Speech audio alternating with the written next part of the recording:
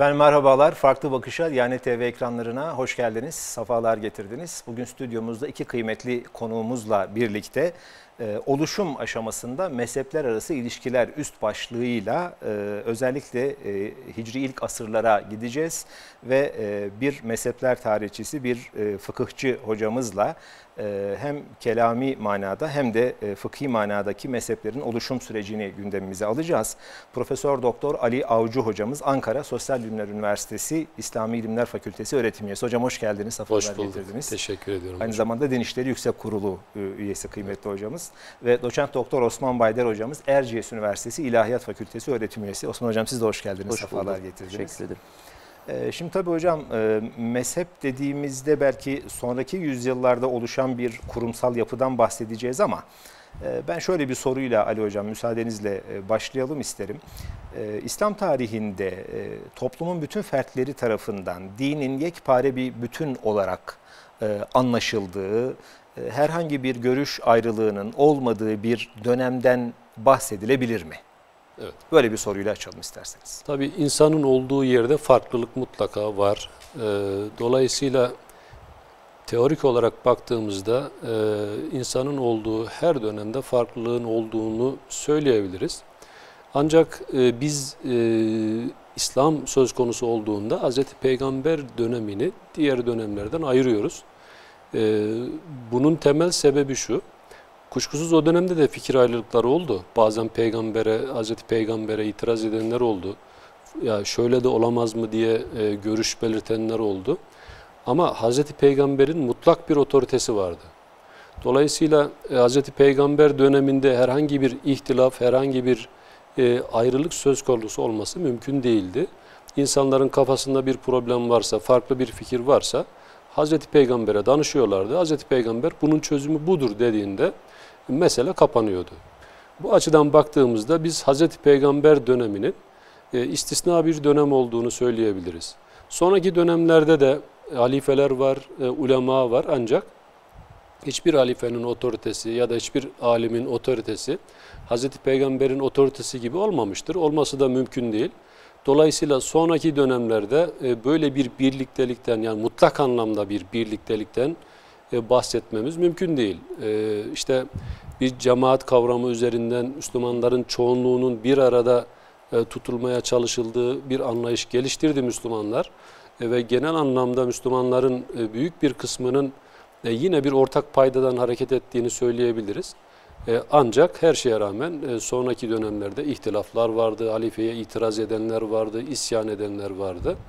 Ama Hz. Peygamber dönemi böyle bir dönem değil. O dönem hakikaten peygamberin e, peygamber olarak mutlak otoritesi altında e, ayrılıkların peygam Hz. Peygamber tarafından sona erdirildiği e, bir dönem olarak düşünülebilir. Özellikle itikadi konularda Hz. Peygamber'in zaten e, o ifade ettiğiniz mutlak otoritesi hiçbir şekilde e, başkaca bir düşünceye imkan vermeyecek e, bir yöne sahip. Ee, Osman Hocam fıkıh içinde aynı şeyi söyleyebilir miyiz Hazreti Peygamber dönemi yani için? Büyük oranda aynı. Yani Hazreti Peygamber dönemini bir tarafa bırakacak olursak İslam tarihinin her döneminde neredeyse her meselede Müslümanlar, Müslüman hukukçular, fakirler farklı düşünmüşlerdir. Hatta Hazreti Peygamber döneminde dahi peygamberden uzak bölgelere gönderilen sahabelerin kendi aralarında ihtilaf ettiğini biz e, biliyoruz, okuyoruz. Ee, bunların bazıları daha sonra peygambere iletilmiş ve peygamberimiz kesin bir sonuca ulaştırmış. Aslında e, İslam hukuku iştihadı e, meşru bir yöntem olarak görüyor. E, iştihadı meşru bir yöntem olarak e, gören bir hukuk sisteminin e, aslında e, ihtilafsız olması haliyle mümkün değil. E, sa sadece iştihadı e, meşru görmemiş, aynı zamanda e, teşvik etmiştir. Evet. Yani e, biraz açayım. E, mesela bir A meselesinde işte bir fakih e, bir görüşü, başka bir fakih başka bir görüşü benimsediğini düşünelim. İslam hukukçularına göre bu e, iki görüşte e, sevaba hak eder. Yani her iki fakih farklı görüşler ileri sürseler bile e, ikisi de sevaba müstahak olur. Bazılarına göre birisi doğrudur, birisi yanlıştır. Doğruyu tutturan iki sevap, yanlışı e, yanlış görüşü ileri süren bir sevap alır. Bazı e, İslam hukukçularına göre ise her ikisi de doğrudur. Yani bunun anlamı şu, Allah her iki görüşü de onlar açısından doğru kabul ediyor. Yani bu kadar e, iştihada insanların aslında farklı düşünmesine imkan tanıyan bir e, fıkıh ortadayken e, alimlerin e, bunun da bundan da aldıkları bir cesaretle çünkü e, siz ihtilafı kötü gördüğünüzde veya dinden çıkma olarak gördüğünüzde haliyle insanlar da çekinir, iştihad etmemek için e, uğraşır, çaba gösterir. Ama böyle bir imkan olduğu için doğal olarak e, çok fazla farklı görüşler olmuştur. Hatta şöyle söyleyebiliriz, e, bu ihtilaf, farklılık veya e, başka türlü söyleyecek olursak İslam hukukunun en güçlü yanıdır. Çünkü hukukta farklı görüşler olduğu zaman altern- alternatifler çoğalıyor. Coğrafyaya göre, iklimlere göre, zamana göre farklı tercihler söz konusu oluyor. E, mesela bu e, bazı mezheplerin bir bölgede tek başına güçlü olduğunu görüyoruz. E, o mezhepler aslında zamanla küçülmüş. Yani o coğrafyalarda daha da küçüldüğünü ve bitme noktasına geldiğini görüyoruz. Çünkü farklılık olmayınca tartışma ortamı da bitiyor. E, ve gitgide e, aslında e, zayıflayan hukukçuların azaldığı bir sonuca doğru da Bir daralmaya gidiyor. daralmaya gidiyor. Evet. Peki şimdi e, itikadi konularda belki bunu söylemek çok mümkün değil ama Hazreti Peygamber zamanı mesela Hazreti Ömer'in bir takım değil mi fıkhi meselelerde itirazları var ya da şu şöyle olmalı ya Resulallah dediği hususlar var ve orada da Cenab-ı Hak e, ayet-i kerime ile Hazreti Ömer'in görüşlerini teyit ediyor.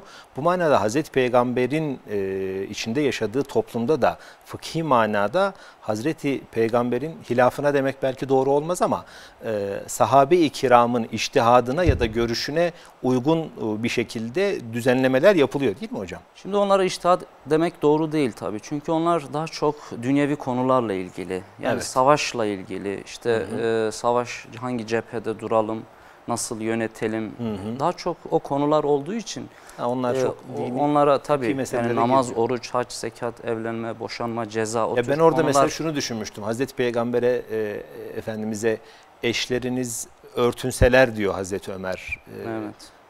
Orada bir ayet-i kerime değil mi? Öyle bir olay hatırlıyorum. O belki fıkhi sayılır mı bu konu? Yani sayılabilir tabii.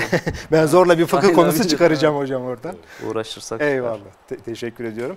Peki e, Ali Hocam, e, şimdi e, kelami açıdan diyelim ya da itikadi açıdan e, Hulefai Raşidin dönemine geldiğimizde e, görüş farklılıkları, anlama, yorumlama e, biçimlerinin değişiklik arz etmeye başladığı dönemler aşağı yukarı ne zamana tekabül ediyor? Aslında biz e, Bu İslam nasıl yorumluyoruz? mezhepler tarihinde ihtilafı Hz. Peygamber'in vefatıyla başlat, başlatıyoruz. Hı hı. E, yani ümmetin ihtilaf etmeye başlaması daha peygamberin vefat ettiği gün gerçekleşiyor. E, pek çok izleyicimizin bildiği gibi peygamberimizin vefat ettiği gün e, Beni Said'de sahabe toplanıyor ve halife kim olsun bununla ilgili bir tartışma gerçekleşiyor. E, sahabelerin bir kısmı e, ensardan bir halife olması gerektiğini düşünüyor. E, buna karşı muhacirlerden e, bir halife olması gerektiğini savunan Hazreti Ömer gibi e, bir başka grup karşımıza çıkıyor. Yine üçüncü bir grup e, daha sonra eğer e, muhacir, e, muhacirlerden ya da Kureyş'ten bir halife olacaksa bunun peygamberin en e, alt kabilesi olan e, Haşimilerden olması gerektiğini dolayısıyla Hazreti Ali'nin e, ya da Hazreti Abbas'ın halife olması gerektiğini savunan bir üçüncü grup karşımıza çıkıyor. Ee, ihtilaf tabi Hazreti Ebu Bekir'in halife olmasıyla çözülüyor. Ancak hilafet sorunu devam ediyor. Yani sonraki dönemlerde de yine bir sorun olarak e, sahabelerin, ümmetin karşısına çıkıyor. Yine Hazreti Ömer, Hazreti Ebu Bekir dönemine baktığımızda ridde olayları var. Evet. Dinden dönüyor e, bir takım Müslümanlar. E, biz diyorlar Hazreti Peygamber'in peygamberliğini kabul etmiştik ama artık e, peygamber öldü. Biz de dinden dönüyoruz diyorlar. E, Evet. Bir ihtilaf olarak değerlendirilebilir. Yine aynı dönemde e, Hz. Ebu Bekir döneminde e, zekat vermek istemeyenler, daha doğrusu aslında zekat vermek istiyorlar ancak zekatı biz kendi aramızda vereceğiz diyorlar. Peygamberin usulü olan zekat yöntemini e, değiştirmek istiyorlar. Evet. E, Hz. Ebu Bekir bunu devlete ve otoriteye bir başkaldırı olarak değerlendirdiği için e, tarihte bildiğimiz meşhur e, olaylar yaşanıyor. Evet. Dolayısıyla ihtilafı çok erken bir döneme e, kadar götürebiliriz. Tabi burada aklımıza şu soru gelebilir. Yani e, sahabe kafamızdaki sahabe imajı hakikaten e, bambaşka bir yerde. Evet. E, şimdi bazen bu ihtilafları, tartışmaları, kavgaları hatta Cemel ve Sıffin savaşında olduğu gibi savaşları Yakıştıramıyoruz. Hazreti Osman'ın şehit edilmesi gibi olayları yakıştıramıyoruz e, bu sahabeye. E, burada şöyle bakmak lazım. E, sahabe de bir insandı. Ve bir insan olarak doğrular yaptı. Doğruları bizden çok daha fazlaydı. E, bizden çok avantajlı tarafları vardı. Peygamberin e, arkadaşı, ashabı, dostu olmak gibi. İslam'ın o ilk nüvesini oluşturan ekipte yer almak gibi çok önemli artıları vardı. Bunlar aslında bizim onlara verdiğimiz değerin önemli sebepleri ama bunların yanında çok önemli fedakarlıkları vardı mutlaka. E, Bunların yanında e, insandı ve sahabe hata yapabilir. Biz, Yani e, din adına gösterdikleri samimiyet ve gayrete şahidiz biz bir taraftan. Ee, ama bir taraftan da insan oluşlarını da göz ardı etmeden düşünmek. Burada insani bir durum var aslında. Yani hayat devam ediyor. Başlarında Hazreti Peygamber gibi e, bir mutlak otorite yok. E, evet halifeler var ama işte orada da e, kabileler arası rekabet devreye girebiliyor. Başka bir takım beklentiler, istekler, arzular bazen nefis devreye girebiliyor. Dolayısıyla bütün bunlar e, zamanla e, bir takım ihtilaflara sebebiyet verebiliyor. Hocam peki mesela bu ihtilaflar dinin aslına taalluk eden meselelerde mi yoksa daha fer'i meselelerde ya da dünyevi meselelerde mi? Şimdi burada Hazreti Peygamber'in e, bizzat çözdüğü e, meseleler var.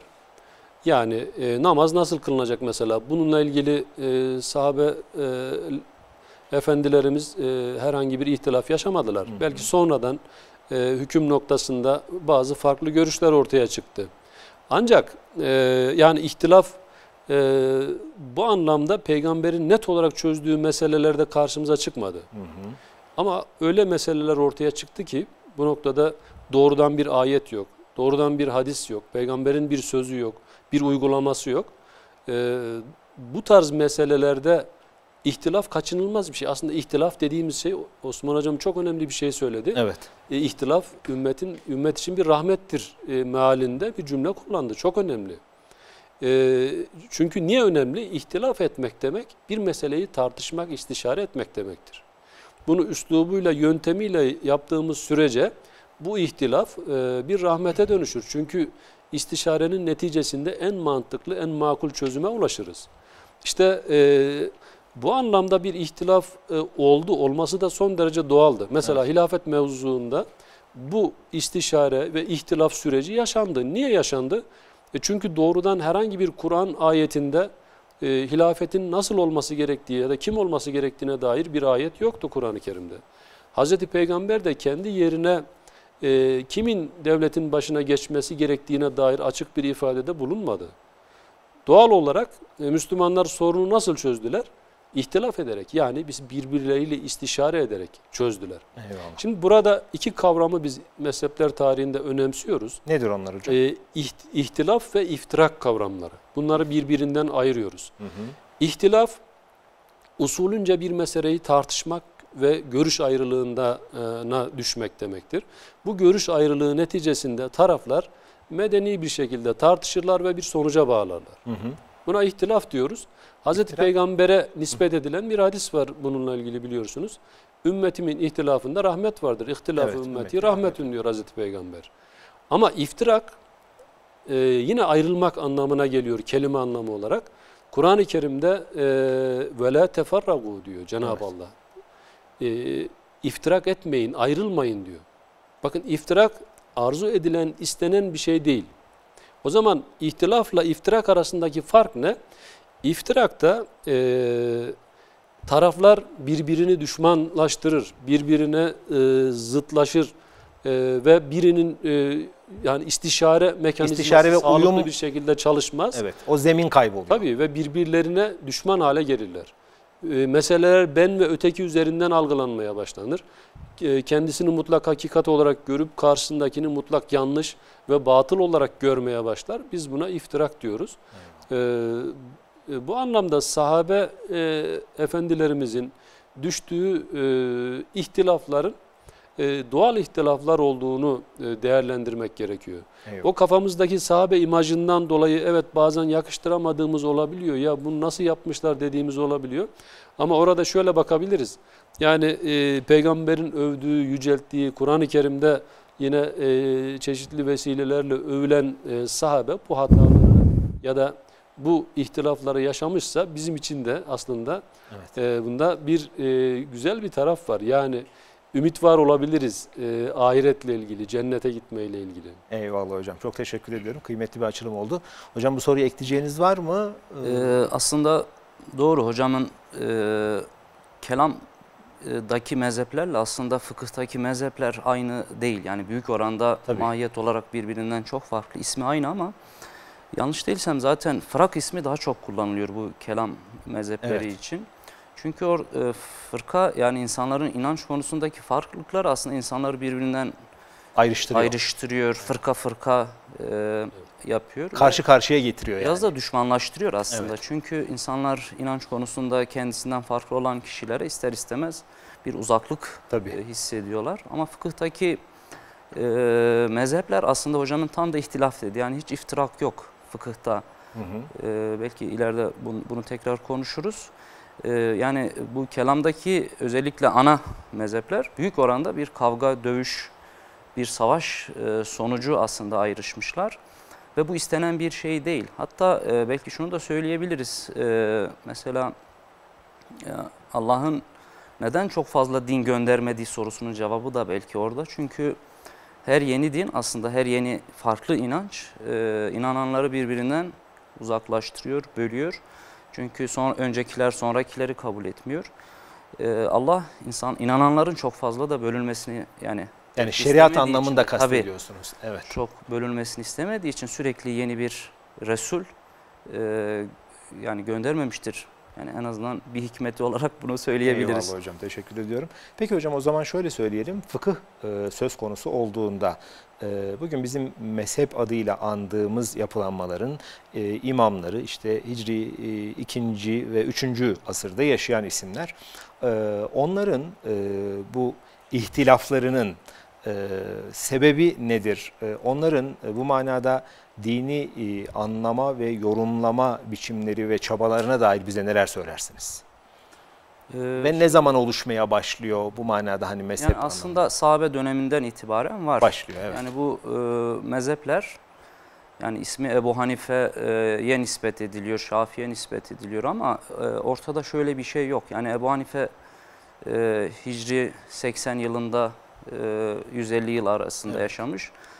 E, Yani peygamberden 80-60 yıl sonra e, dünyaya gelip bütün e, hukuki problemlere çözüm bulan e, ve işte İmam Şafii aynı şekilde e, her şeyi sıfırdan üretmiş e, kişiler değil. Yani isminin Hanefi mezhebi olmaz. Yani sanki ortada öyle bir algı var. Hanefi mezhebi dediğimiz zaman sanki tamamen Ebu Hanife'nin görüşünden müteşekkil bir yapı gibi anlaşılıyor. Değil aslında. Sahabeden itibaren gelenekler var. İşte İbn Mesud, e, işte Alkame, Nehai, Hammad, Ebu Hanife. Yani böyle bir silsile var. Evet. Ve bu silsile aslında bir ekolleşme var zaten. Yani bunların tabi e, Kur'an'ı, hadisi e, anlama biçimi, yorumlama biçimi, e, nasları e, o günkü dünyaya nasıl e, aktaracaklarına ilişkin, hangi rivayetleri kabul edeceklerine ilişkin e, ve asıl olarak adaleti nasıl gerçekleştireceklerine ilişkin. Mesela fıkhın yarısı muamelattır ve muamelattaki en üst ilke aslında adalettir. Yani Evet. biz bu insanlar birbirlerine bir şeyler satıyorlar, alıyorlar, evleniyorlar, boşanıyorlar. Biz burada hukuku ve adaleti nasıl sağlayacağız? Bu gelenek aslında e, sahabeden itibaren var ve temel 3-4 gelenek var. Aslında bu mezhep imamları dediğimiz kişiler bu e, geleneği devralıyorlar ve onu e, daha sistemli hale getiriyorlar. Birçok meseleye o sistem dahilinde çözüm buluyorlar ve asıl olarak onları yazdırıyorlar. Evet. Yani bu e, bu çaba sayesinde e, gitgide farklılaşan Bir de yapılar şöyle hocam ifade ettiğiniz gibi mesela e, İmam-ı Azam Ebu Hanife için sanki o, o dönemi içerisinde her şeyi çözüme kavuş. Halbuki en yakın öğrencilerinin e, kendisine e, ihtilaf ettiği pek çok mesele var. Tabii. İmam Ebu Yusuf'un ya da İmam Ebu Muhammed'in e, İmam-ı Azam'a e, ters düştükleri demeyelim ona e, nasıl Ters düştüğü de diyebiliriz. İhtilaf ettikleri e, bir takım meseleler var. E, halbuki biz Hanefi geleneği tek bir konu üzerinde anlaşmış gibi düşünüyoruz bazen. Böyle bir hataya düşüyoruz. Halbuki o ihtilafın rahmet olması bizzat e, hocanın kendi ders halkasındaki öğrenciyle ters düşmesi ama aynı ders halkasına devam etmesi, aynı geleneği sürdürmelerinde de açığa çıkıyor Tabii. değil mi? Hatta şunu da ekleyeyim.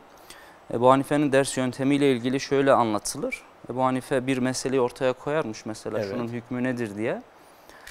Ee, onlarca öğrencisi var Ee, ve öğrencilerin önce görüşlerini sorarmış. Ee, görüşlerini yazdırırmış. En son kendi görüşünü söylermiş. Hmm. Yani orada e, diyorlar ki niye önce kendi görüşünü söylemez de öğrencilerin görüşünü söylermiş. Çünkü kendi görüşünü baştan söylese öğrencileri edeben biz farklı İtiraz söylemeyelim hocamıza itiraz etmeyelim diye. Yani böyle de bir şey var aslında. Dolayısıyla hocam mesela e, fıkıh anlamında e, mezhepler bu dini anlama ve ilim öğrenme hususundaki gayret ve çabaların e, kurumsal bir yapıya dönüşme süreci diyebilir miyiz? Diyebiliriz hocam. Eyvallah. Yani zamanla biriken ve gitgide çoğalan, artarak devam eden bir yapının sonucu. Ve bir sistem e, içerisinde işleyen. Eyvallah. Evet. Hocam peki itikadi manada e, benzer bir şeyi söylemek biraz daha zor herhalde. Tabii e, şu anlamda Osman Hocam haklı. Yani e, fıkıh mezheplerinde e, iftirak çok görülmez dedi. Doğal. Bu niye doğal? E, çünkü ilgilenilen ala- alanlar farklı.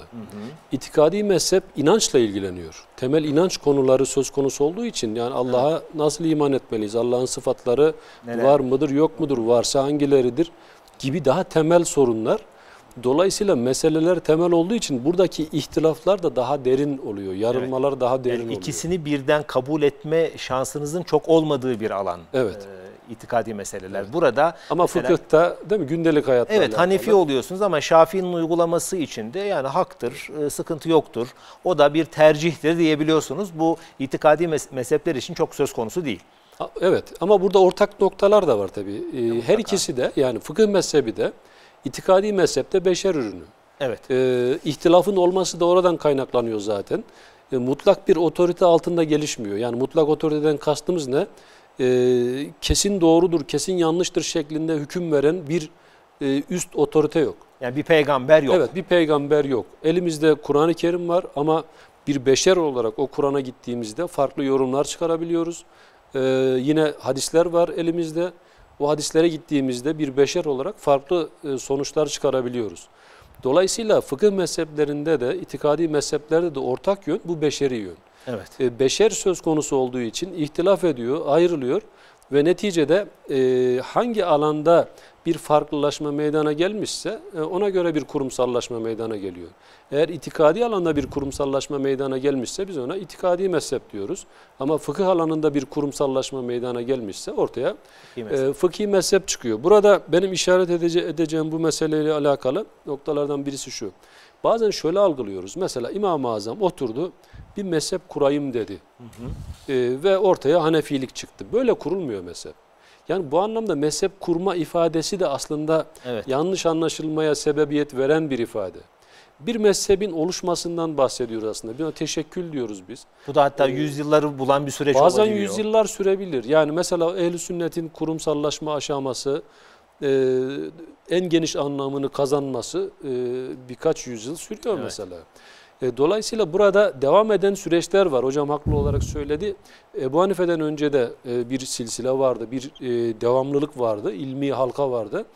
E, şimdi e, bu halka bir yerde bir isim tarafından e, daha böyle komplike hale getiriliyor. Daha sistematik daha hale. sistematik hale getiriliyor ve e, aslında devam ediyor. Onunla birlikte de bitmiyor o e, kurumsallaşma aşaması.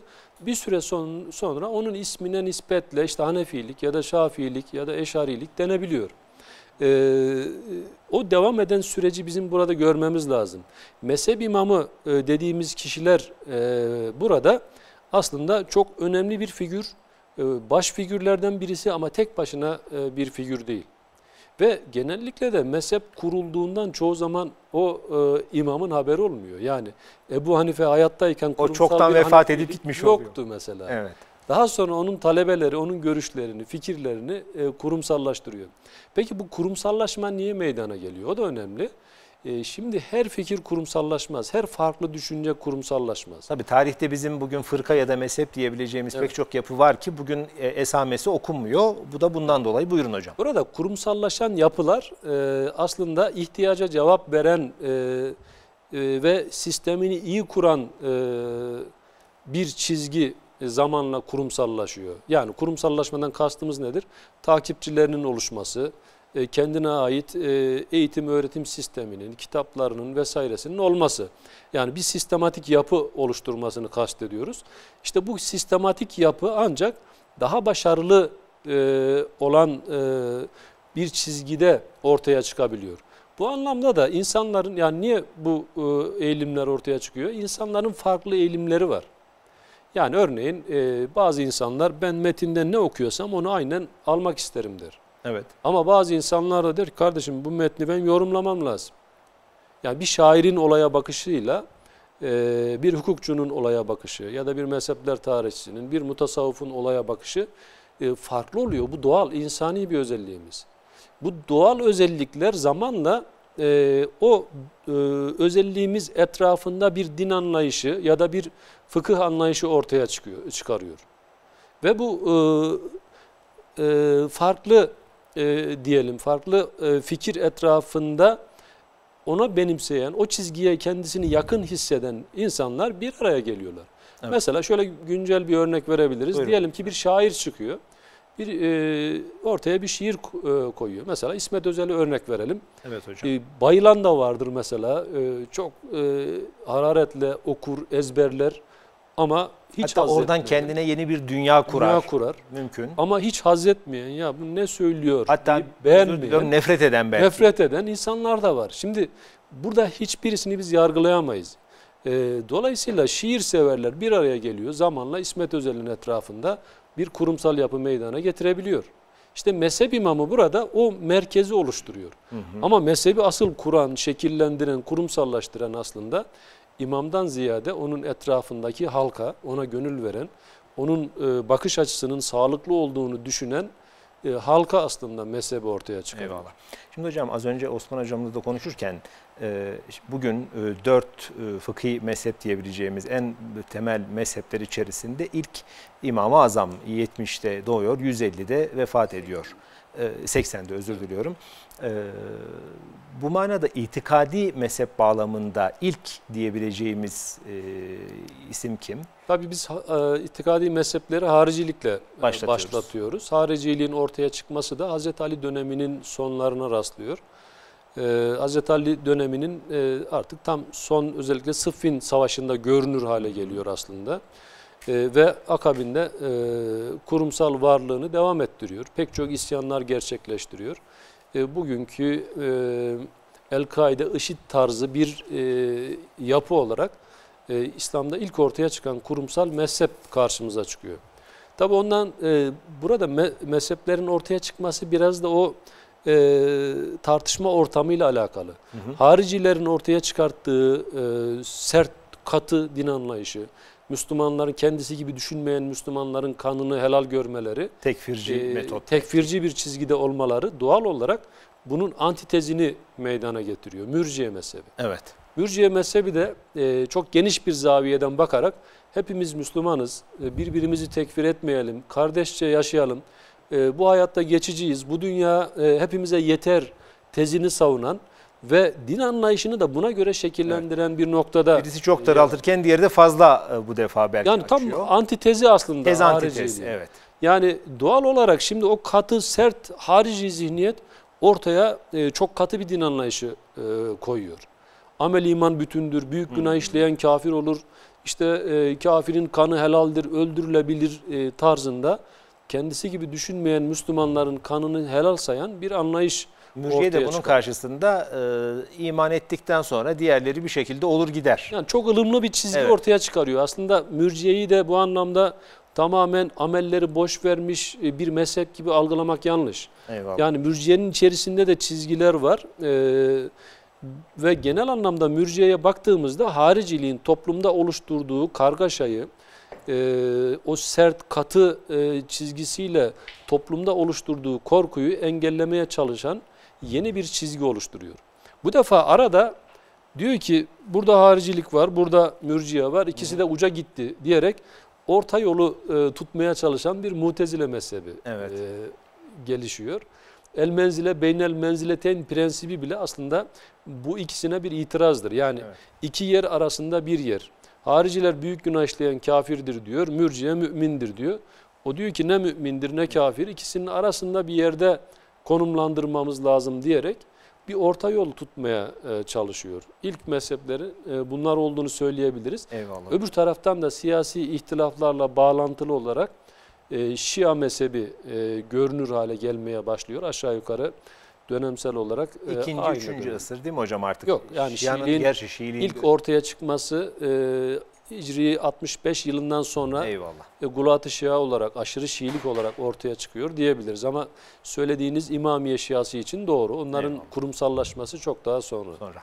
Hocam e, sizin e, söyledikleriniz şöyle bir soruyu e, güncele de bir miktar değinmek istiyorum. Biz bazen hariciliği ya da mürciyeyi ya da mutezileyi tarihin belli bir döneminde yaşamış, varlığını e, bir şekilde sonlandırmış, bitmiş ve defteri kapanmış bir yapı olarak görmeye meylediyoruz. Aslında bu da çok doğru de- değil gibi geliyor bana. Yani harici bir mantık ya da mürciye e, ya da mutezile kafasıyla düşünen insanlar her yüzyılda bir şekilde varlığını sürdürmüyor mu? Kesinlikle. Şimdi mezhepler e, organizma gibidir. Yani birey gibidir diyoruz e, biz Hı hı. mezhepleri tanımlarken. E, canlı bir organizmaya benzetiyoruz. E, kendine ait bir zihniyeti var mezhebin. Mesela haricilik için diyoruz ki e, katı, sert bir din anlayışını temsil eder. Yani böyle bir zihniyete sahiptir. Mürciye için dedik ki daha ılımlı bir Müslüman zihniyetini temsil eder. Yani mezheplerin bu anlamda zihniyetleri var. Ve bir mezhep kurumsallığını kaybedip yok olabiliyor. Ama o zihniyet ölmüyor. O zihniyet tarihin bir başka döneminde yeniden neşvünama bulabiliyor. Evet. Dolayısıyla e, bir mezhebin tarihte yok olması o zihniyetin de yok olacağı anlamına gelmez. Çünkü e, din söz konusu olduğunda insanlar kaç türlü tavır geliştirebilir? Yani 5 mi, 10 mu, 15 mi? Bunu 100, 300, 500 yapamayız herhalde. Evet. E, Dolayısıyla o, o temel zihniyetler e, mutlaka insanlık var olduğu sürece e, temsil edilecektir e, ve temsil edilmeye devam. Yaşamaya Ama hari, İslam'ın erken döneminde örneğin o sert katı e, devrimci, ihtilalci zihniyeti haricilik ismiyle e, kurumsallaşmış gördük. Ha, bugün IŞİD, El-Kaide vesaire gibi örneklerle biz kurumsallaştığını görüyoruz. Yani Eyvallah. Ama zihniyet aynı zihniyet. Eyvallah. Ya dine aynı yerden bakıyor. Osman Hocam bir takım notlar aldı. Bu notlarla ilgili söyleyecekleriniz varsa onları da dinlemek isteriz hocam.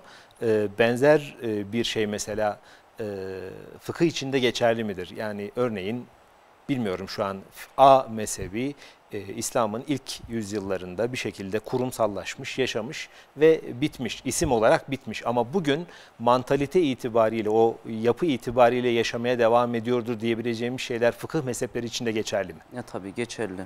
Yani e, ama o anlamda kendini isimlendiren yoktur.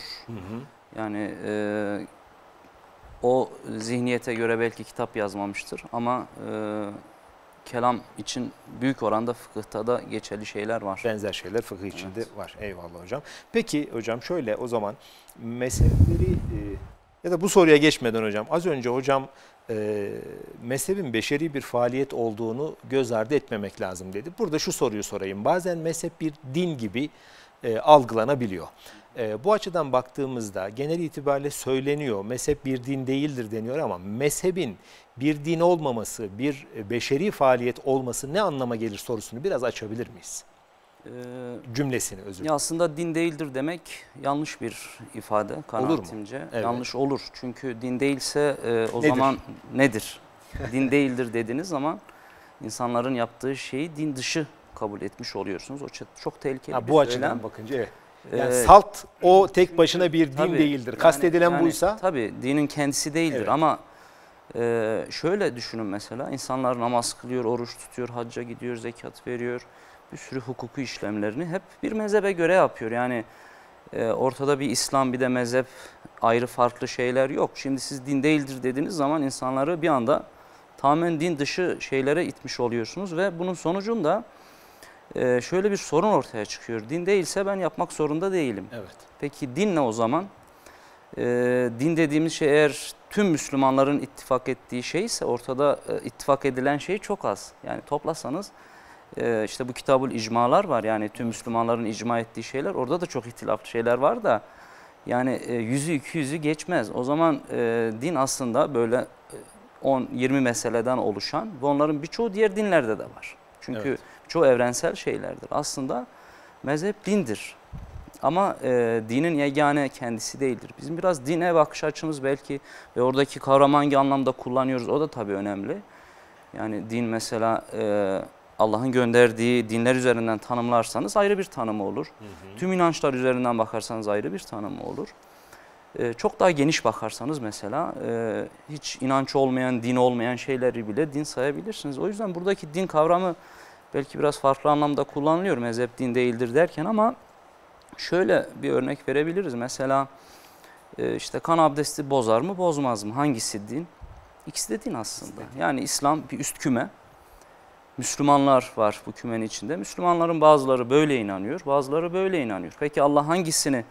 Yani biz, bir, biz biraz aslında onu kabullenmekte zorlanıyoruz. Yani aynı anda bir şey nasıl iki farklı sonucu olabilir? Yani kan ya abdesti bozar vücuttan çıktığı zaman ya da bozmaz. Çok zıt görünüyor birbirine. Zıt görünüyor. Tam tersi şeyler. Yani 2 artı 2 4 eder 5 eder gibi farklı iki sonuç Evet. gibi anlaşılıyor. Biri doğru öbürü yanlış. Değil aslında. Yani daha açmak için e, güzel bir örnek vermeye çalışayım. Buyurun hocam lütfen. Şimdi mesela 621 yılında peygamberimizin yanında yer alan bir sahabenin e, Müslüman olduğunu düşünelim. Bu sahabe işte o günkü e, namazlarında e, Mescid-i Aksa'ya dönüyor. Evet. Çünkü o gün kıble orada. Daha sonra bunun hicret ettiğini, işte Ankara'ya geldiğini düşünelim. Şimdi o günün şartlarında mesela aylarca yol yürüyor, Ankara'ya geliyor, bir köye yerleşiyor. Burada işte dinini yaşıyor, dinini yayıyor. Ve Kudüs'e, Mescid-i Aksa'ya dönerek namaz kılıyor. Evet. Buna Peyga- göre Peygamber doğru hayatta. Peygamber hayatta o anda işte fevelli veceke şatrel mescidil haram ayeti indi ve oradaki Müslümanlar Kabe'ye döndü. Şimdi buradaki Müslüman ne yapacak? Sahabe Mescid-i Aksa'ya dönecek. Evet. Yani Bunun o için- haberi alıncaya Tabii. kadar belki yıllar boyunca Mescid-i Aksa'ya namaz kılmaya devam Tabii ediyor. bunun için doğru bu. Evet. Din de bu aslında. Hatta şöyle bir yorum yapsa, ya ben niye Mescid-i Aksa'ya dönüyorum? Yani bilmiyor, ayetten haber yok. Kabe daha güzel, işte Hazreti İbrahim yapmış, ee, babamız, dedemiz, biz onun milletindeniz deyip, Kabe'ye dönse namazı olmaz. Çünkü onun için doğru olan e, aslında dini e, olması gereken oraya dönmemiz. O yüzden e, aslında biz dinimizi amel açısından söylüyorum tabii ik- itikat açısından çok farklı. Tabii. Amel açısından bizim yaptığımız şey, dini açıdan sorumlu olduğumuz şey bizim inandıklarımızdır. Allah bizi inandıklarımızdan sorumlu tutacak. Dolayısıyla bizim açımızdan din bu. Ama sorun dinde sadece bu görüş benim görüşüm var. Diğerleri din dışı demek asıl büyük sorun. Yoksa ikisini de dinin içindeki e, doğrular olarak Yani kabul ettiğimizde Evet hocam. sorun kalmıyor. Mezhep bir beşeri faaliyettir Tabii. ama nihayeti Tabii. itibariyle dinin Tabii. içindedir. O sizin çizdiğiniz geniş halkanın içerisindedir. Eyvallah hocam. Şimdi o zaman hocam şöyle. Sami Hocam buna birkaç bir şey Buyurun hocam lütfen. Tabii ki tabii sohbet ediyoruz. Ee, Buyurun. Şimdi e, tabii mezhepler tarihinde e, sınırlarını zorlayan bir cümle gibi gözüktü hocamın söyledikleri ama Eyvallah hocam. e, aslında e, aynı şeyi söylüyor.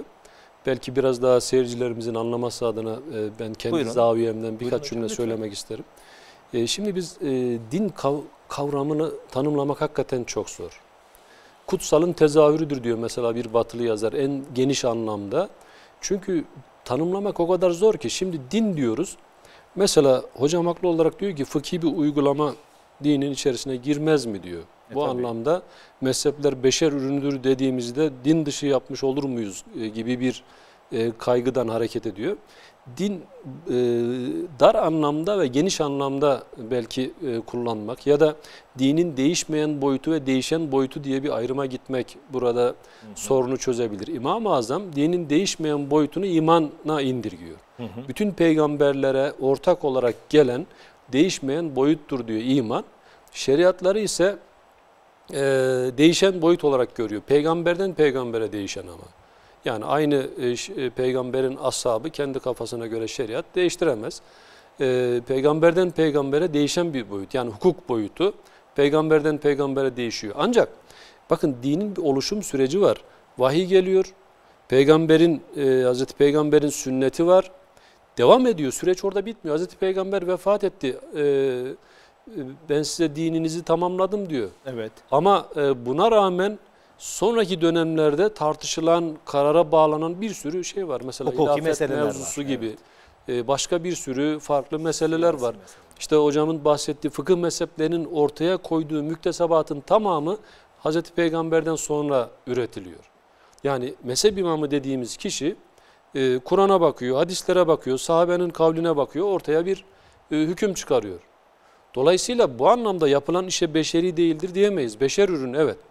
Ama dinin dışında dinle alakasız bir şey diyebilir miyiz? Hayır.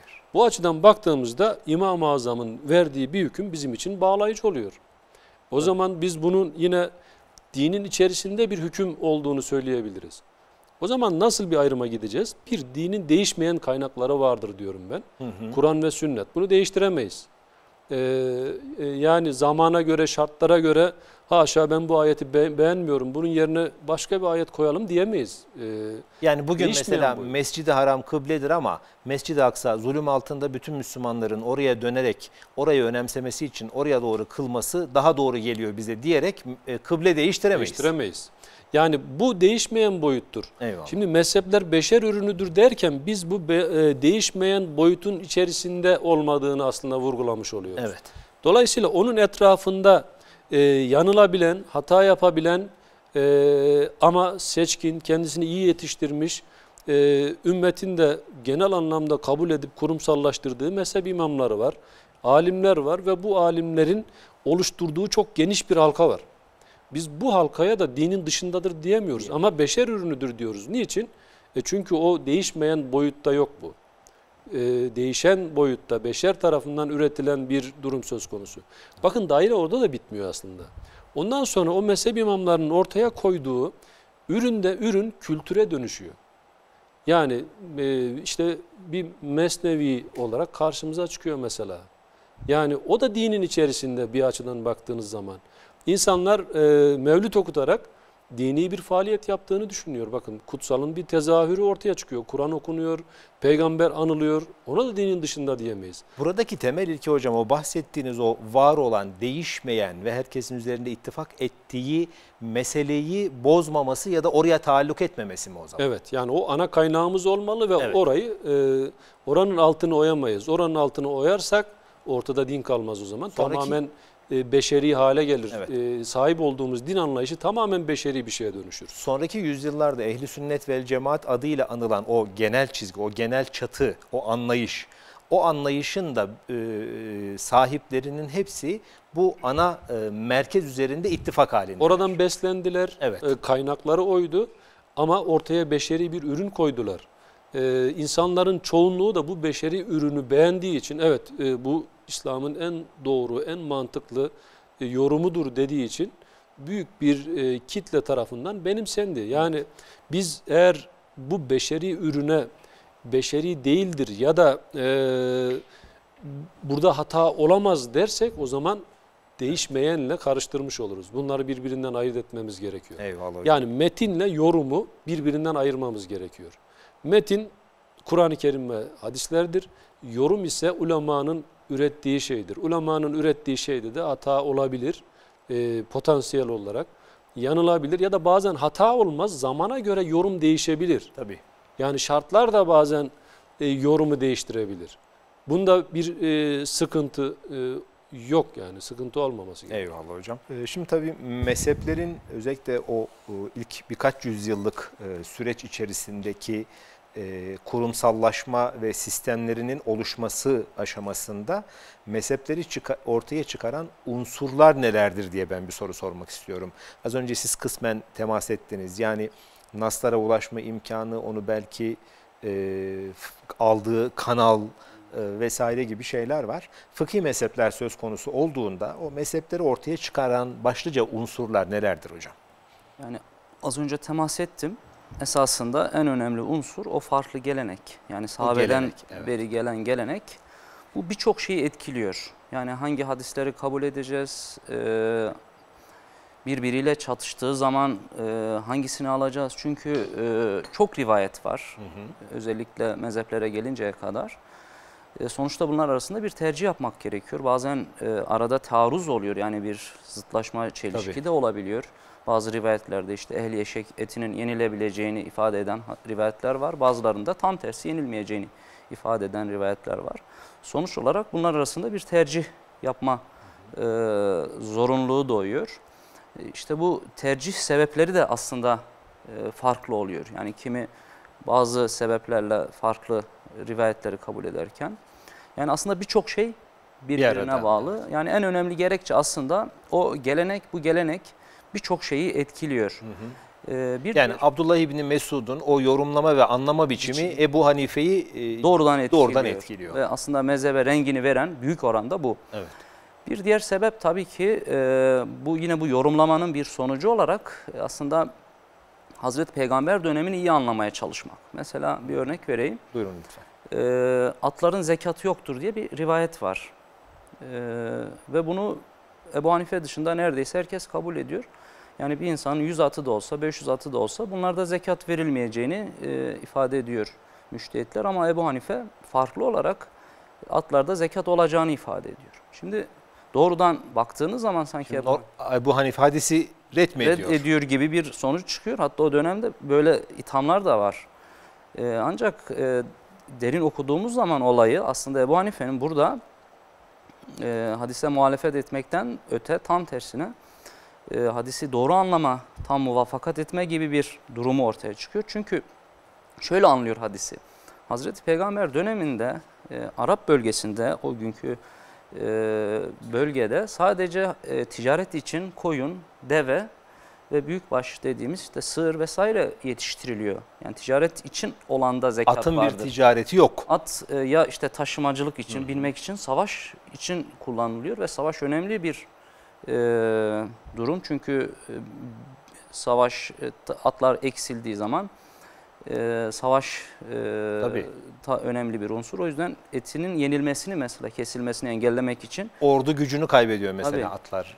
Ee, ama zamanla mesela bu e, at ticaret unsuru haline de geliyor ve bu Hanife döneminde artık insanlar at besiciliği yapmaya başlıyor. Yani peygamber döneminde aslında deve ve koyunda olan ticaret işi Ebu Hanife döneminde at e, içinde geçerli oluyor. Yoksa burada doğrudan aslında Ebu Hanife de o rivayeti e, duymuş oluyor. Yeri gelmişken mesela önemli bir gerekçe olarak da şu sun- sunuluyor. Yani mezheplerin birbirinden farklılaşmasının temeli olarak işte kiminin duyduğu rivayeti öbürü duymamış şeklinde bir gerekçe ileri sürüyorlar. Yani aslında bu çok zayıf bir ihtimal. Bu mümkün Ee, mü? Yani mümkün olabilir elbette. Çünkü Ama- sonuçta o günün iletişim kanalları.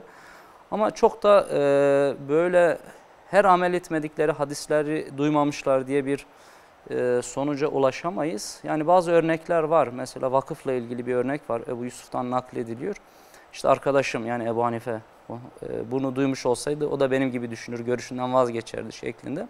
Ama bunlar son derece aslında nadir. Doğrusu e, duymuş olması, onu düşünerek, diğer rivayetleri de düşünerek bir sonuca ulaşmış olmasıdır. Ve başka birçok sebep de var. Elbette coğrafya, zaman, zemin, e, insanların ihtiyacı e, ve daha önce de söylemiştim. Asıl adaleti nasıl gerçekleştireceğiz? Yani şu rivayeti aldığımızda toplum içinde nasıl bir sorun olur, öbürünü tercih ettiğimizde nasıl bir sorun olur? E, en etkili unsur aslında bu ve hangisi o günün insanlarına daha fazla fayda sağlıyorsa o rivayeti tercih ederek Müslümanların sorunlarını çözmeye çalışmışlar. Eyvallah. Hocam burada e, söylediklerinizden şöyle bir şey e, çıkarıyorum. E, Sanırım mezhebin oluşmasında biraz da o geleneği devam ettiren insanların yöntemsel anlamdaki meseleyi böyle sağlam temeller üzerinde oturtmaları mezhep olmalarına sebep Tabii. oluyor, vesile oluyor. Tabii. Yöntemi yani gelen rivayetler neye göre değerlendirilecek? İki rivayet birbiriyle e, çakıştığında hangisini neden seçtiğine dair eğer e, net çizgiler varsa o bir mezhep olma yolunda ilerlemiş oluyor. Doğru mu anlıyorum? En önemli şey o. Evet. E, hatta sonrakilerin mesela diyelim ki Ebu Hanife'nin bu yöntemi var. Tabi o yöntemin ne olduğunu biz bilmiyoruz çünkü Evet. bu yazıya geçirilmemiş ve aslında geçirilebilecek bir şey de değil. Çünkü bu dil e, her şeyi aktarabilecek kavramlara e, sahip değil. Bu kavramları oluşturmak çok zor. E, sonrakiler mesela Ebu Yusuf, İmam Muhammed, Züfer ve sonrakiler asıl olarak ona uymuş. Evet. Yoksa tek tek her meselede Ebu Hanife'ye mutlak bir e, bağlılık söz konusu değil. Ama en önemli unsur o diyebiliriz. Biz bugün o yönteme bakarak biraz fıkıh usulünü oradan mı çıkarmaya çalışıyoruz? As- zaten fıkıh usulün asıl amacı Asıl o. amacı o. o. yöntemin ne olduğunu tespit etmek. Eyvallah. Fıkhi mezheplerde siyasi e, hususlar hocam e, e, mezhepleri ortaya çıkaran ya da etkileyen unsurlar arasında mıdır? Yani Siyaset çok, var mı? e, çok nadir. Çok nadir. Fıkıh- çünkü e, şöyle bir şey ekleyeyim. Fıkıh Buyurun. aslında e, yani hukuk çünkü e, siyasetle çok bağlantılı meseleler de yok. Değil, işin evet. aslı ve İslam hukuku sivil bir hukuk. Yani bu hukukçuların hukuku derler. Yani normalde dünyadaki tüm hukuk sistemleri bir devletin emriyle işte bir yöneticinin, padişahın, sultanın emriyle e, ortaya Evet. çıkmıştır. Ama İslam hukuku Böyle değil. tamamen sivil. Hiçbiri devlet görevlisi değil, e, kadı değil hatta Reddediyor. e, hatta reddediyorlar. Tamamen aslında ilmi bir faaliyet olarak ortaya çıkmış. Eyvallah. Hocama aynı soruyu sorduğumda herhalde hocam aynı cevabı vermeyecektir diye Yok, tahmin ediyorum. e, Değil mi hocam? Çok e, çok derin bir konu. E, Evet. üzerine bir program rahatlıkla yapılabilir. Ama kısaca özetlemek gerekirse Lütfen biz hocam. şunu söylüyoruz. Mezhebin ortaya çıkmasının temel sebebi insandır. Hı hı. e, İslam mezhepleri açısından baktığımızda. Çünkü e, psikoloji bilimi insanı şöyle tanımlıyor. Biricik bir varlıktır diyor. Evet. Yani nevi şahsına münhasır bir varlık aslında. Bizim geleneğimizde de var bu tanımlama. Nevi şahsına münhasır bir varlık. Yani e, yeryüzünde 7 milyar insan varsa 7 milyar da birbirinden farklı. Şimdi bu kadar farklı insanın olduğu yerde farklı fikirlerin olması kadar doğal bir şey yok. O farklı fikirler içerisinde belli bir takım fikirlerin ön plana çıkması ve onların etrafında e, birilerinin kurumsallaşması kadar da doğal bir şey yok. Dolayısıyla temelde insan var, insanın ihtiyaçları var. İnsan e, şimdi şöyle diyemeyiz, bazen bunu e, duyuyoruz toplumda. Ya işte herkes Arapça öğrensin. Bu e, teorik olarak güzel, kulağa hoş gelebilir. Herkes Kur'an okusun, anlasın e, veya herkes e, fıkıh öğrensin. Teorik olarak güzel ama pratikte 1400 yıldır hiç olmamış, karşılığı yok. Dolayısıyla bizim söyleyeceğimiz şeyin de e, insan gerçeğine, doğasına uygun olması lazım. İnsan doğasında birileri bu meselelere kafa yoruyor, ilgileniyor, ön plana çıkıyor. Birileri de hazır bulmak istiyor. Bakıyor İmam-ı Azam Ebu Hanife çok güzel bir cevap üretmiş diyor. Onun cevaplarını takip etmeye başlıyor. İmam Yusuf güzel bir cevap üretmiş diyor. Onun cevaplarını takip etmeye başlıyor. Bu da insani bir özellik. Dolayısıyla bu insani özelliklerimiz zamanla belli bir belli görüşler etrafında kurumsallaşmayı ve mezhepleşmeyi Eyvallah. getiriyor. Bu birinci sebep. İkincisi e, mezheplerin ortaya çıkmasında toplum çok belirleyici. Hı hı. İnsanların bir araya geldiği yapıya biz toplum diyoruz. Dolayısıyla insan sosyolojide tanımlanırken toplumsal bir varlıktır. Bir arada yaşamak e, zorunda olan bir varlıktır diye tanımlanır. Basit ve kabaca. Yani e, sosyoloji bilimine göre insan e, tek başına dağ başında teorik olarak yaşayabilir ama e, genel teamülüne baktığımızda bir arada yaşamak ister, eş bulmak ister, e, çocuk sahibi olmak ister. Bakın onlar da bir arama, arada yaşama arzusunun sonuçları. Dolayısıyla bir arada yaşanma dürtüsü e, insanda düzen arayışını ortaya çıkarıyor. Kaostan kaçmak istiyor insanoğlu. Kaostan kaçmak ve din alanında kaostan kaçmak ve düzen ortaya çıkarmak için Bir çizgi takip e, edin. doğal olarak e, bir çizgi oluşturmak gerekiyor. Evet. Yani e, kurumsal bir anlayış ortaya çıkarmak gerekiyor. Mesela basit bir örnek verelim. Şimdi herkes Kur'an'a gitsin, hadislere gitsin, işte e, nasıl namaz kılacağına karar versin dendi mesela. Gitti herkes bu şekilde davranmaya başladı. Camiye gittik. Nasıl namaz kılacağız? Herkes farklı bir usul, farklı bir yöntem takip edebilir. İşte burada bir e, mezhep dediğimiz yapı bu kaosu önlüyor. Evet. Toplumsallaşmayı sağlıyor ve insanların bir arada e, yaşamasını kolaylaştırıyor. Yani mezhep bu anlamda bizi geriye götüren e, ya da çağın gerisinde bırakan bir şey değil. Toplumsal ihtiyaçlarımızın bir sonucu.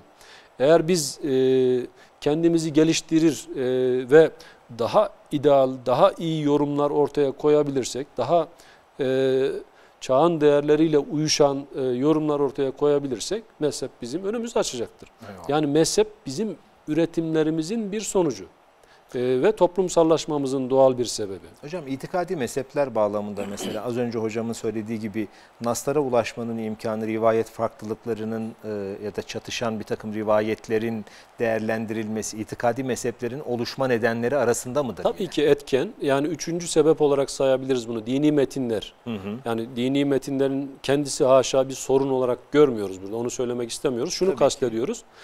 İnsan biricik bir varlıktır dedik. Ee, ve bu biricik varlık Kur'an'a gidip oradan bir anlam çıkarmaya çalışıyor. Hadislere gidip oradan bir anlam çıkarmaya çalışıyor. Ve her birey aslında kendi kültürel birikimi üzerinden bir anlam ortaya çıkarıyor. Dolayısıyla bir Türk'ün ortaya çıkardığı anlamla bir Arap'ın ortaya çıkardığı anlam ya da bir İranlı'nın, bir Batılı'nın e, Kur'an'a gidip ortaya çıkardığı anlam farklılaşabiliyor.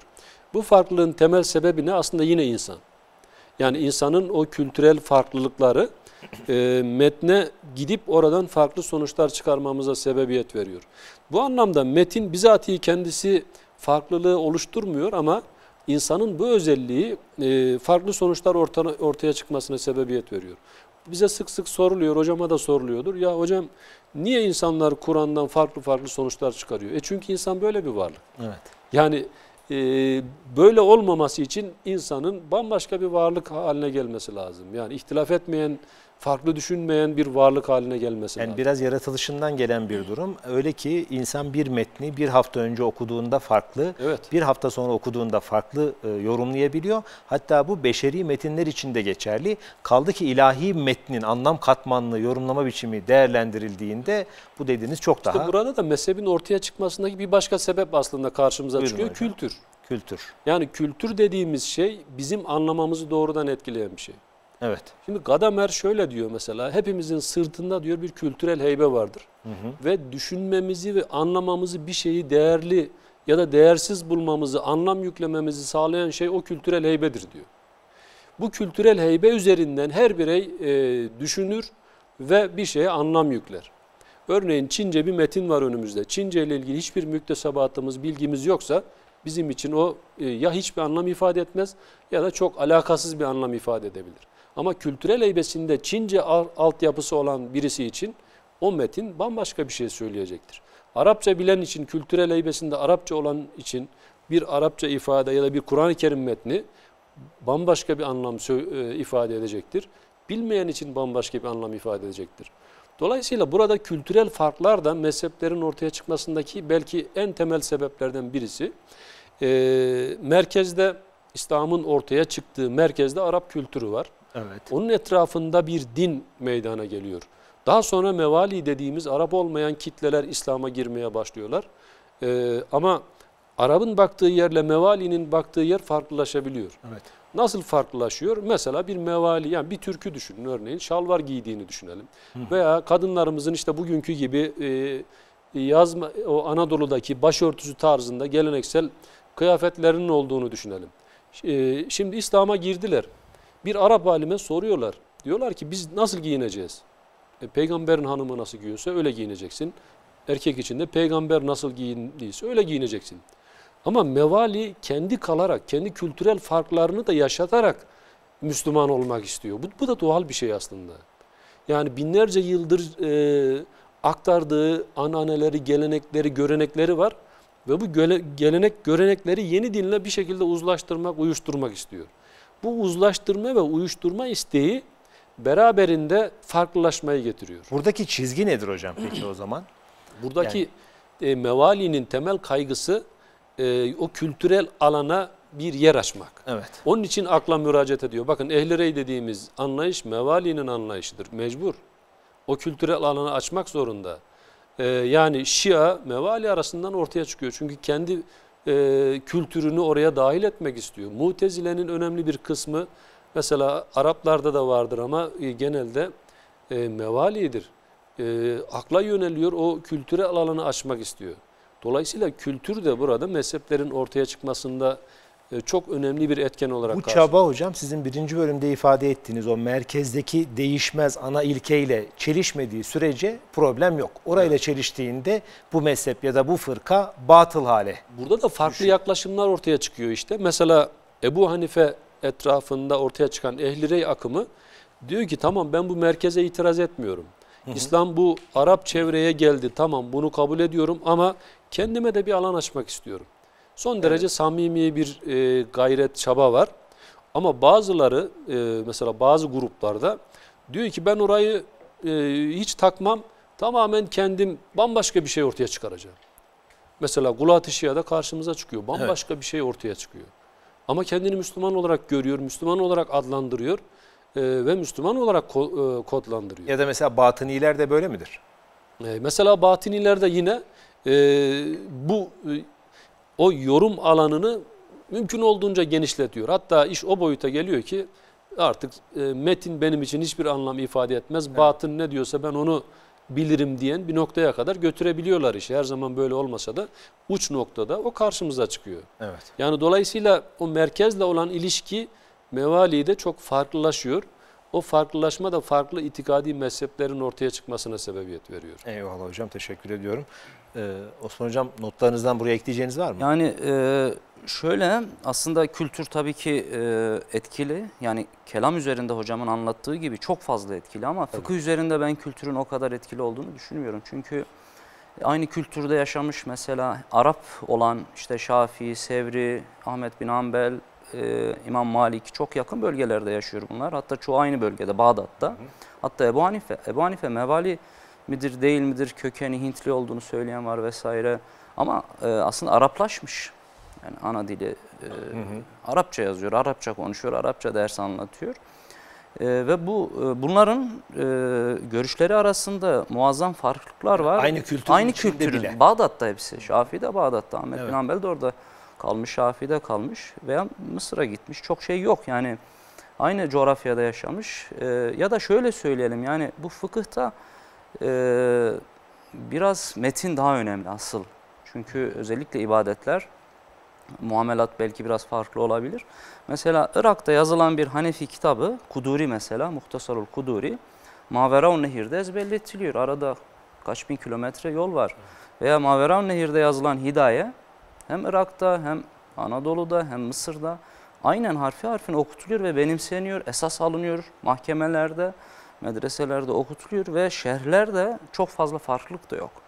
Yani bu açıdan e, fıkıhta biraz daha kültür, özellikle tali meselelerde ortaya çıksa bile e, asıl önemli noktalarda, unsurlarda e, ben kelamdan en azından Ayrıştığını farklı olduğunu düşünüyorum, ayrıştığını düşünüyorum. Evet. Ee, hocam oluşum aşamasında ben mezhep mensuplarının e, aynı çağda yaşayan birbirinin öğrencisi olan imamlar var. E, bu manada mezhep imamlarının, e, alimlerin birbirlerine yaklaşımlarını e, merak ediyorum. Yani orada bir e, ayrıştırıcı bir dil oluşabiliyor mu yoksa daha çok birleştirici, bütünleştirici birbirlerini bizim bugün bu stüdyoda program boyunca konuştuğumuz gibi oldukça anlayışla karşılayan, e, dinin sınırları içerisinde gören e, bir yaklaşım mı var?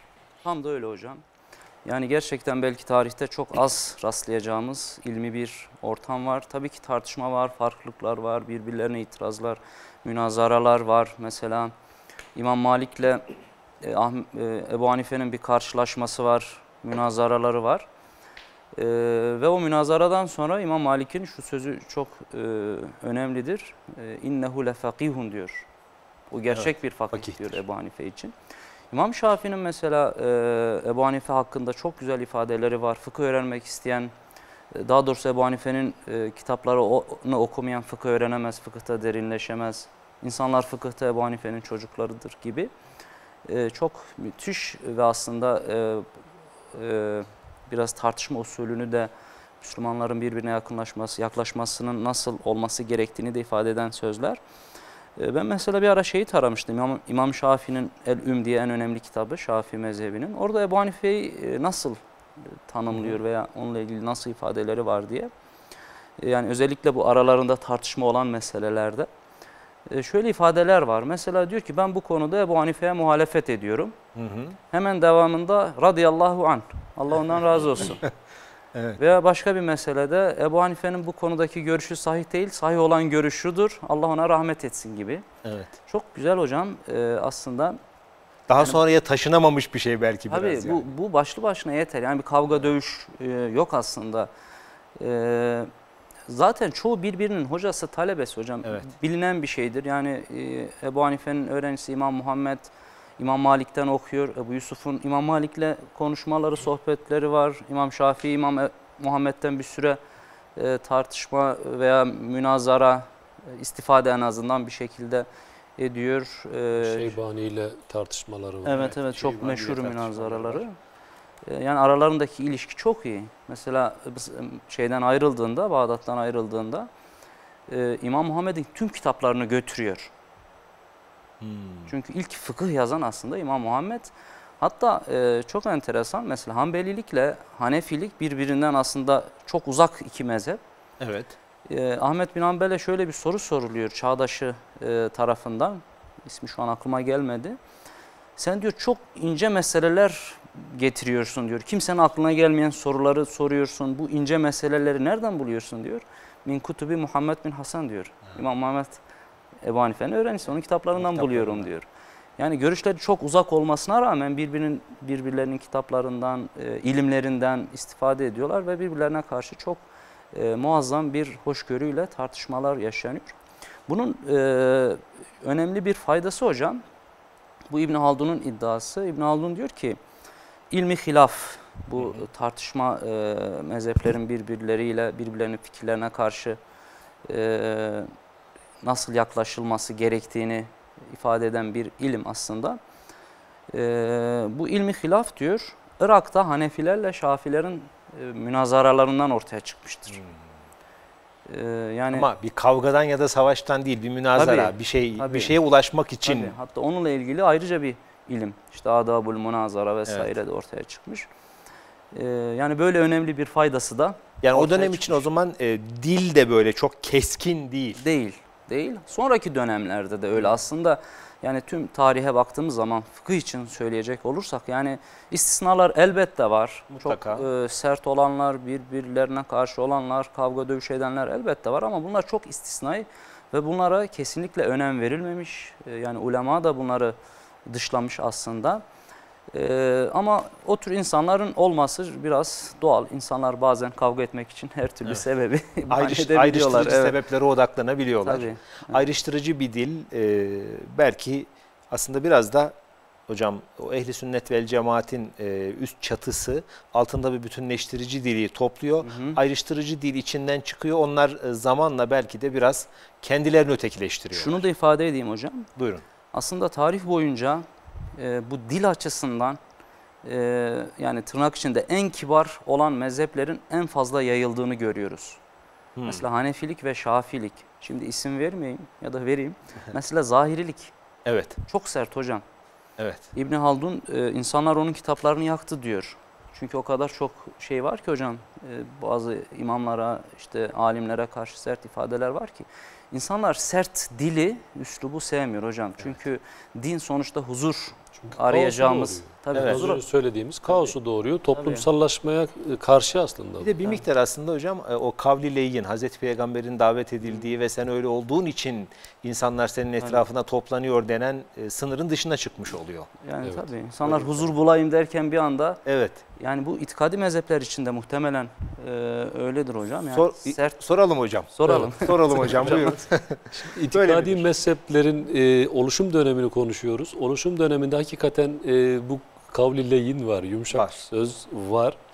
Bu biraz Ya, tabii haricilerden böyle hocam. biraz süreçle alakalı. Emin olun onlar da e, siyasi olarak tamam savaşıyorlar. E, devlet onlarla savaşıyor. Siyasi olarak bir şiddet, sertlik var ama öbür taraftan herkes ben şöyle diyorum kendi işine bakıyor.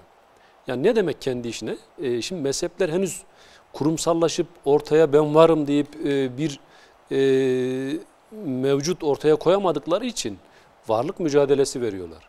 Dolayısıyla herkes kendi işiyle uğraşıyor. Kendi farklılığını ispat etmenin derdinde. Yani kendi ontolojisini oluşturmaya Ke- çalışıyor. Evet, aynen öyle. Bu, o yüzden bu oluşum dönemi e, en yumuşak dönemdir diye e, söylersek abartmış olmayız. Kimse ötekiyle ilgilenmiyor. Herkes kendisiyle ilgileniyor. Mesela hariciler e, e, büyük günah konusunda farklılaşmışlar. Büyük günah işleyen niçin kafir olur? Bunu ispat etmeye çalışıyor yazıp çizdiği eserlerde. Bununla ilgili hadisler toplamışlar, hadis metinler oluşturmuşlar. E, bütün dertleri bu. Mürciyeye bakıyoruz, irca görüşünde ayrışmış. E, irca nedir? Bunu açıklamaya çalışıyor. Şimdi e, itikadi mezhepler söz konusu olduğunda bir farklılık ortaya çıktığında buna bir itiraz aşaması gelir ikinci olarak. Birincisi farklılık. Tamam irca diye bir görüş koyduk ortaya. Birileri itiraz ediyor. Nereden çıktı kardeşim bu? Kur'an'da mı var, hadiste mi var, peygamber mi böyle söyledi, ashab mı bu fikri savundu? Bu itiraz aşamasına bir cevap aşaması. Aslında oluşum dönemi dediğimiz aşama büyük oranda bu cevap arayışlarıyla geçiyor. Dolayısıyla irca görüşünü savunanlar harıl harıl e, delil aramaya başlıyorlar. Kur'an'da bir şey bulabilir miyiz? Hadislerde bir şey bulabilir miyiz? E, veya işte Şia'yı örnek alalım. İmamet diye bir şey ortaya atıyor. Hazreti Ali ve soyunun imam olması gerekirdi diyor. E, nereden çıktı bu dediğinizde harıl harıl Kur'an'dan, hadislerden e, deliller bulmaya çalışıyor. O yüzden ötekiyle ilgilenebilecek çok fazla e, durum ona müsait değil. Herkes kendi derdiyle uğra- uğraşıyor. Mesela mürciyeye baktığımızda e, Kur'an'dan deliller buluyor, e, buluyorlar ircanın hak olduğuna dair. Örneğin ircayı savunanlardan birisi İmam-ı Azam Ebu Hanife'dir. E, ta Hz. Adem'in yaratılmasına kadar götürüyor. Oradaki meleklerin isimleri biz bilmiyoruz demesini irca olarak yorumluyor. Yani bilmedikleri bir meselede bilmiyoruz dediler diyor. İşte ircadır bu diyor. Ve e, irca tavrının insanlığın yaratılmasına kadar geçmişi olan e, imani, dini bir mesele olduğunu ortaya koymaya çalışıyor. Dolayısıyla biz bu oluşum dönemine makalat dönemi diyoruz mezhepler tarihi yazımında. Makalat dönemi son derece e, yumuşak bir dönemdir çünkü insanlar kendini anlatıyor. Kendi varlığını ortaya koymaya çalışıyor. Ama bir süre sonra varlığını ortaya koydu. Birileri de evet bu doğru söylüyor. İrca doğru bir görüş dedi. Onun etrafında birleştiler. Bir mezhebe dönüştüler. Kurumsallaştılar. Bu defa ötekine müdahale başlıyor. Evet. Bu da doğal bir şey aslında. Önemli olan o müdahalenin e, yani insani, medeni ölçüler içerisinde yapılması fırak dönemi başlıyor. Evet. Bu dönemde kendisi gibi düşünmeyenlere karşı artık ötekileştirme, onları dışlama, onları yanlışlama süreci başlıyor. Orada dil değişiyor. Orada savaş devreye giriyor hatta. Dil belki, değişiyor, Değil mi? evet. Fıkıh için böyle bir şey yok hocam herhalde değil mi çok fazla? Yani, Yani, savaşların e, olduğu Yok. Hanefilerle Şafiilerin öyle Ee, yok. Yani öyle çünkü Evet, çoğu ayyuka çıkacak zaten kadar birbiriyle hoca talebe ilişkisi yani az önce ifade ettim bazen olmamış değil. mutlaka Ee, ama vesaire olmuş. İşte birbirinin Daha arkasında çapta. namaz kılmama vesaire olmuş ama aynı şey e, Hanefiler içerisinde de olabiliyor. Yani bazı Hanefiler bazı Bazen Hanefilerin yani. arkasında namaz kılmamış. Onlar biraz kişisel. eyvallah. İtikadi mezhepler için ama böyle değil. Orada savaş devreye gire- girebiliyor. Yani savaş belki bazen oluyor ama şey daha e, psikolojik tahribat, yıpratma faaliyetleri daha etkin. Ötekileştirme. Fırak anlama biçimi dediğimiz bir anlama biçimi ortaya çıkıyor. Yani bu bunun özü de şudur fırak anlama Bu bahsettiğimiz hocam ne zamanlar yani bir e, zaman Bu dönüşüm vermek? ne zaman o e, makalat dediğimiz daha yumuşak sürecin olduğu dönem aşağı yukarı 300'lü yıllara kadar e, Devam ediyor. gidebilir. Yani götürülebilir. İmam Eşari'yi bir dönüm noktası olarak alabiliriz. Belki biraz daha ötesine git, götürebiliriz. Çok net bir sınır çizmemiz Mutlaka zor. tabii ki. Ama 250'lerden itibaren yavaş yavaş dönüşen bir zihniyet var. Çünkü ana mezhepler ortaya çıkmış durumda. Ee, ve bir güç mücadelesi, iktidar mücadelesi doğal olarak karşımıza çıkıyor. İşte devlet Mutezile'yi resmi mezhep yapıyor bir dönem mesela. Onlarla çalışıyor. Ee, birileri buna itiraz ediyor. İşin içinde siyasi boyut Tabii. boyut da var. Halkul Kur'an meselesi. Dolayısıyla yavaş yavaş o süreç değişiyor ve frak dönemi dediğimiz yepyeni bir dönem başlıyor. Bu dönemin temel özelliği şu, e, kutuplaştırıcı bir anlayış devreye giriyor. Ben ve öteki. Üçüncü halin imkansızlığı prensibi üzerinden de bu delillendirilmeye çalışılıyor. Bir şey ya doğrudur ya yanlıştır. Üçüncü bir ihtimal olamaz. Şimdi e, bunu şöyle kurguluyorlar. Ben kendi mezhebim, e, benim mezhebim e, hak fırkadır, doğruyu temsil ediyor ve benim mezhebimden olmayanlar da Batıl. yanlışı, batılı temsil ediyor. Üçüncü bir ihtimal olamaz. Ve bunu öteki üzerinden kendi haklılığını ispat eden bir anlayış da gelişiyor. Yani örneğin e, bir ehli sünnet yazarı ehli sünnetin haklılığını, doğruluğunu ispat etmeye çalışmıyor artık. Şia'nın yanlışlığını ispat etmeye çalışıyor. Ve mantık şöyle işliyor.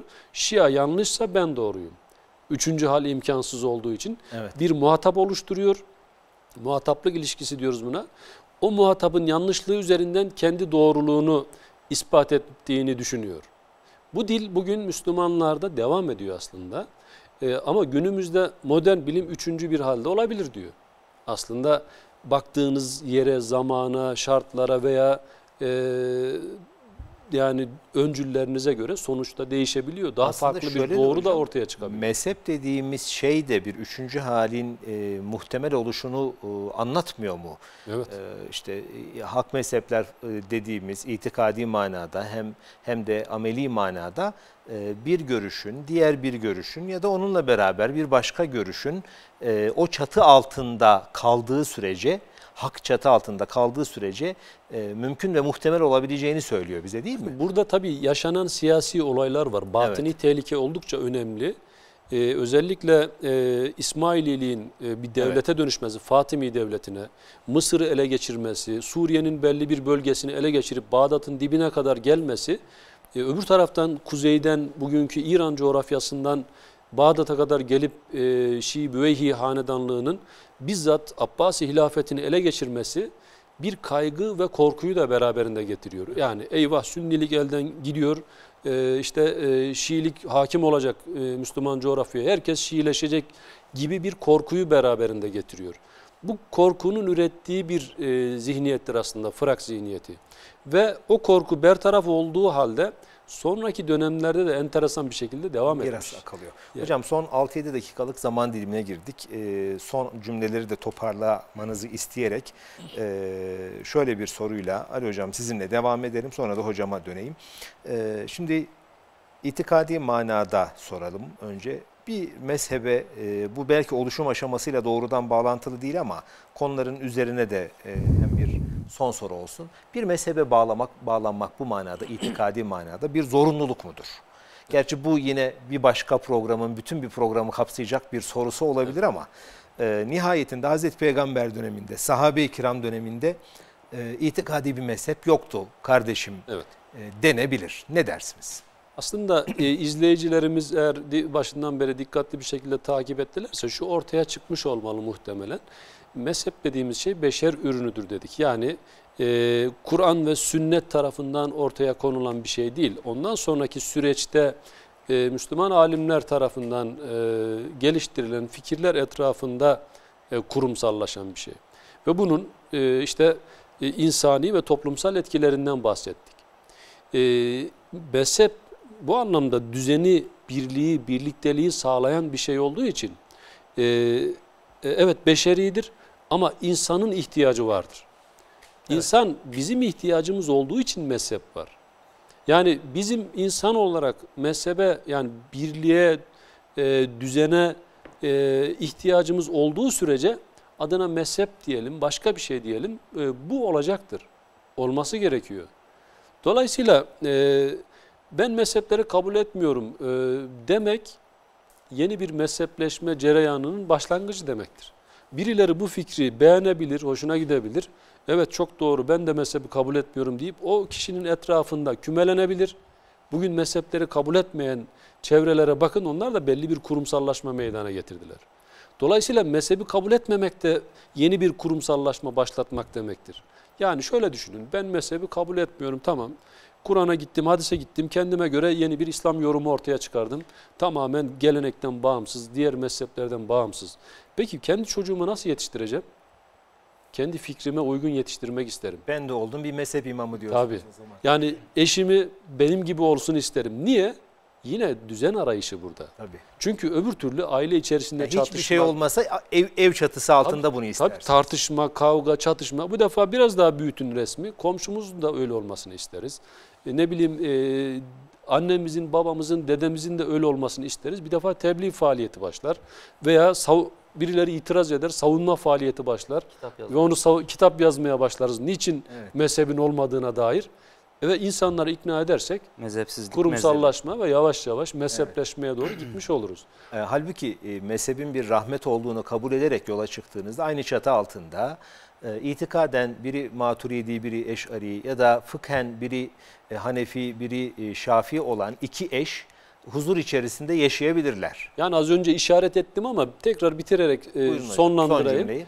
E, şimdi e, mezhepler bizim gelişmişlik düzeyimizin resmidir. Evet. Beşer ürünü olduğu için biz ne kadar donanım, donanımlıysak, ne kadar bilgiliysek, ne kadar iyi bir ürün ortaya koyabiliyorsak mezhep de o kadar e, bize hitap eder, topluma hitap eder, insanların ihtiyacına çözüm üretir. Dolayısıyla sorun mezhebin olması değil, sorun Müslümanın modern çağda kendi sorunlarına çözüm üretecek bilgi düzeyinde olmamasıdır. Eyvallah. Yani Ol- yanlış oluşum- yerden bakmamamız gerekiyor. Eyvallah. Oluşum aşamasında da aslında bütün program boyunca bunun nasıl algılandığını çok güzel bir şekilde ortaya koymuş oldunuz. Çok teşekkür ediyorum Ali Hocam.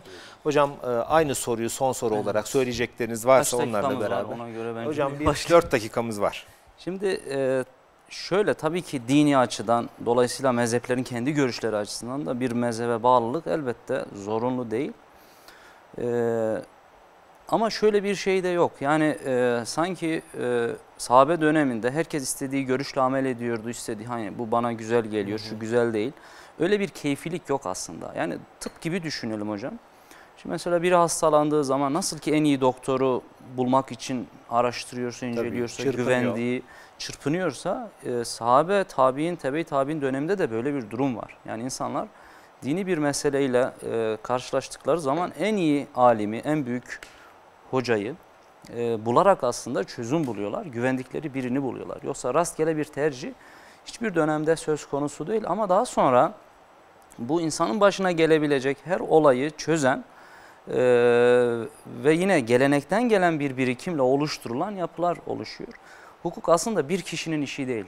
Yani bugün bir hukuk fakültesi mezunu, bir hukuk profesörü nasıl ki tüm e, meseleleri, tüm hukuk sistemini işte cezayı yazarım, anayasayı yazarım, eşya, borçlar hepsini yazabilirim, medeni hukukun hepsini yazabilirim diyemiyorsa insanın başına gelebilecek olaylar da böyle aslında. Zamanla binlerce kişinin e, aynı düşüncede, aynı sisteme göre hareket eden e, fak- fakihlerin bir oluşturduğu bir e, okul aslında mezhep dediğimiz. Yani Evet. Tam günümüz Türkçesini aslında ekol diye Evet. e, çevirebiliriz.